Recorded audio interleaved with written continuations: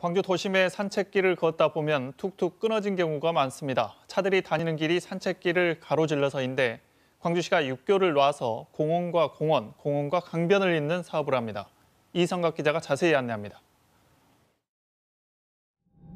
민간공원 특례 사업으로 추진되는 광주 우남산 공원입니다. 공원 등산로가 왕복 8차로 빛고울대로에 끊겨 있습니다.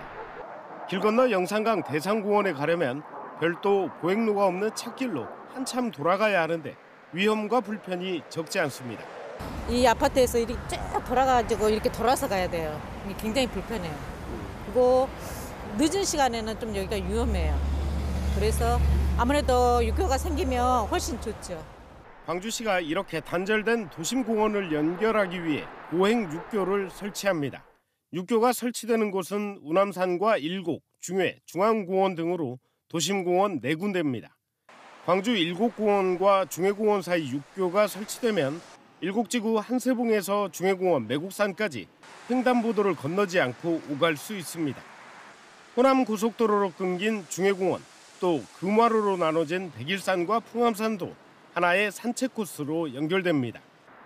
2024년 완공 예정으로 사업비 140억 원은 모두 민간공원 특례 사업자들이 부담합니다. 공원하고 다른 공원, 그다음 공원하고 영산강을 연결해서 공원 이용객들이 공원에서 이제 산책으로 끝나는 게 아니라 공원에서 다른 공원으로 이용할 수 있도록 녹지축을 연결하는 의미가 있다고 보시면 될 것 같습니다. 공원과 공원을 잇는 보행 육교 사업으로 10km가 넘는 도심 속 3시간 트레킹 코스가 탄생하게 됐습니다. KBS 뉴스 이성각입니다.